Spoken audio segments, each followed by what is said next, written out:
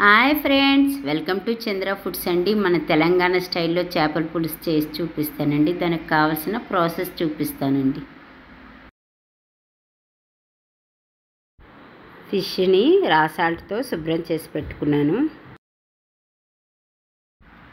పసుపు స్పూన్ వేసుకున్నాను. అల్లం వెల్లుల్లి పేస్టు టూ స్పూన్స్ వేసుకున్నాను. కారం త్రీ స్పూన్స్ వేసుకోవాలి.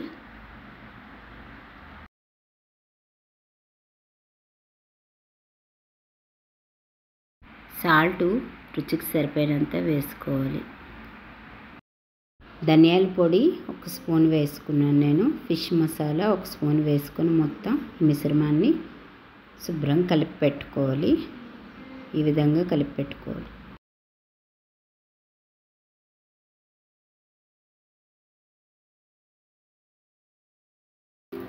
ఆయిల్ వేసుకొని జీలకర్ర వేసుకోవాలి. కట్ చేసి పెట్టుకున్న ఆనియన్ వేసుకోవాలి.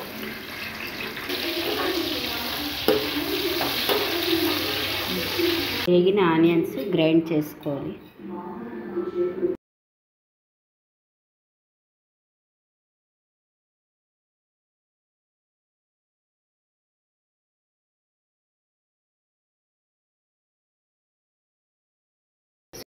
శుభ్రం చేసిన ఆనియన్స్ అండి సన్నగా తరుముకోవాలి. వెల్లుల్లి రెబ్బలు ఒక టెన్ తీసుకోవాలి. స్టవ్ వెలిగించుకొని గిన్నె పెట్టుకొని త్రీ స్పూన్స్ ఆయిల్ వేసుకోవాలి.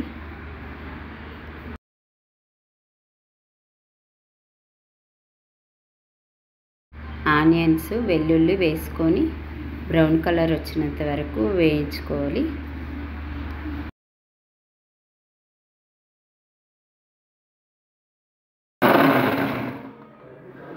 గ్రైండ్ చేసుకున్న ఆనియన్స్ పేస్ట్.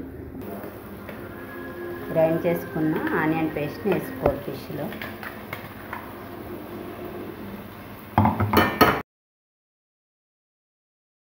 నేను ఫిష్ కర్రీ కోసం హండ్రెడ్ గ్రామ్స్ చింతపండు నానబెట్టుకున్నాను.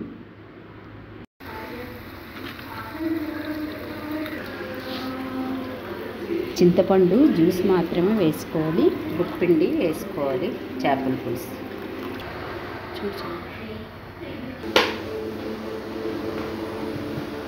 ట్వంటీ మినిట్స్ వరకు బాయిల్ చేసుకోవాలండి. చాలా టేస్టీగా ఉంటుంది చేపల పులుసు అలాగైతే శుభ్రం చేసి కడాయి పెట్టుకున్న శనగ కట్ చేసి పెట్టుకుని కొత్తిమీర వేసుకోవాలి. తర్వాత జీలకర్ర మెంతుల పొడి వేసుకోవాలి. జీలకర్ర మెంతుల పొడి టూ స్పూన్స్ వేసుకోవాలి. దీంతోనే చాలా టేస్ట్ వస్తుందండి. మన తెలంగాణ స్టైల్లో చేపల పులుసు అండి చాలా టేస్టీగా ఉంటుందండి. నా వీడియో తప్పకుండా మీకు నచ్చుతుంది. లైక్ షేర్ సబ్స్క్రైబ్ చేయండి చంద్ర ఫుడ్కి. Thank you friends.